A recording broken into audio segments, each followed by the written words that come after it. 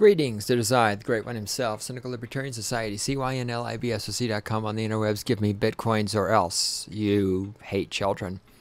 Doing a quick anarchy moment here because I am about to go trail running because I've been looking at a fucking computer all morning and catching up on bullshit. You know, all that stuff I do that creates value for other people and I get paid for because I don't get welfare checks. All right, here we go. We just had an election. The slaves went forth and chose their masters yet again. Yet again, the slaves went forth and said, We want permission from the government. And once again, I didn't vote because I'm not a fucking slave. All right, here we go. Couple of things. Here in Colorado, we had Amendment 64, which was, let me make sure I got all this shit right. Wait. Yeah, see, I just did. I just did all this awesome fucking research. By research, I mean typing shit into Google. 67. 67, you idiot. Amendment 67, which was, I gotta make sure I get this right. What? Oh. Yes, it's a good thing I did. Ah, fuck.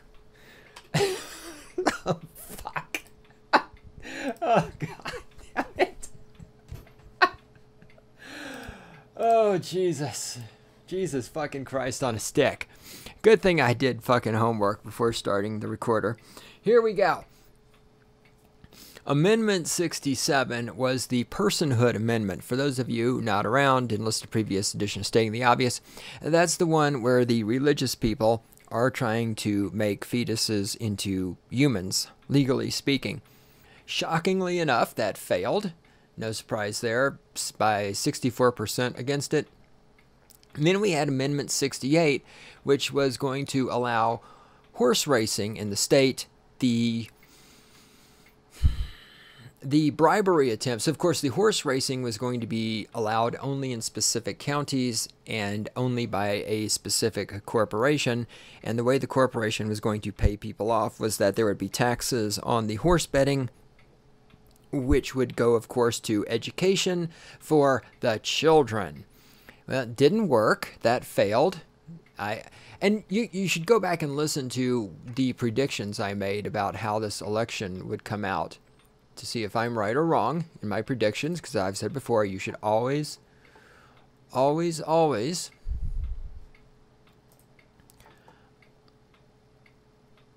listen to what I say and then compare it to reality. That was me pausing because I was looking. I'm trying to find my, here we are, my predictions for the 2014 state election results. What did I predict was going to happen? Come on, internet. Oh yeah, bending over. Horse track, yes. Oh, here we go. So the horse track, I said it was it was hard to call because it was the children versus corporate welfare. I said I thought it would fail, but the election would be close. So I was right in the sense that it did fail, but it was not even remotely close. The no votes were 71%. So I was wrong about that one. It's okay. See, you notice how I can come on here and admit when I was wrong about stuff? You, you notice how I can do that? It's because I'm fucking awesome. It's because my cock is huge. It's because I'm just a badass motherfucker. Propositions, we had 104 and 105. What was one? What the fuck was 104? One of these was. Yeah, good thing I fucking did my homework. Oh, thank God for Google. Wasn't for Google, nobody'd know anything. Ah, got it. All right, 104 was this I'm shocked. I am shocked by this. Shocked. 104 was the one that was going to say that. Where is it?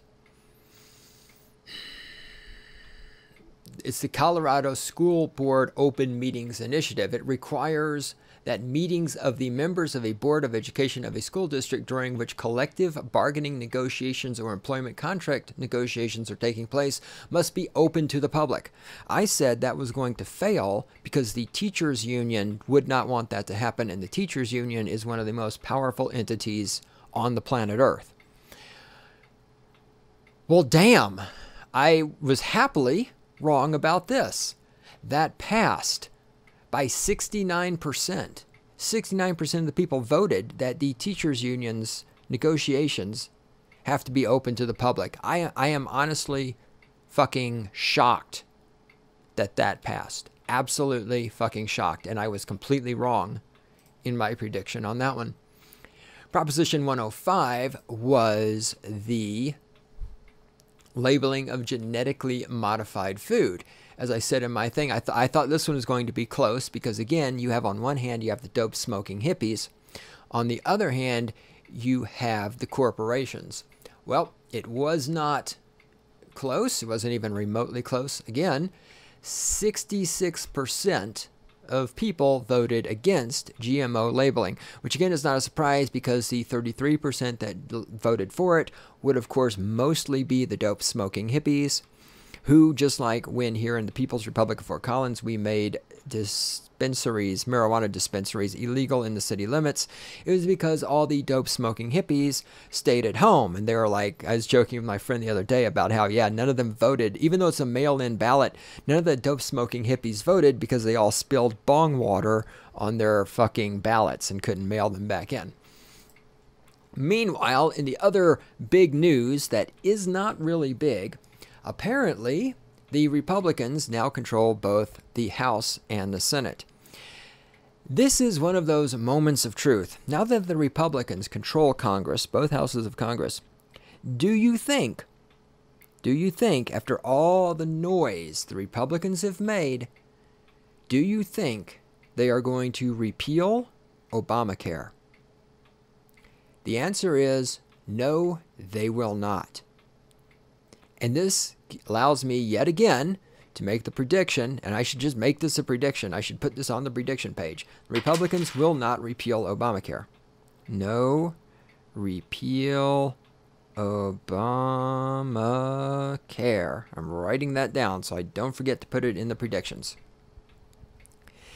And why? You may ask, but great one. Why aren't the Republicans going to repeal Obamacare? They've made so much noise about repealing Obamacare. The reason the Republicans will not repeal Obamacare, as I've explained before, is that the Republicans want health care to be under the control of the government just as much as the Democrats do.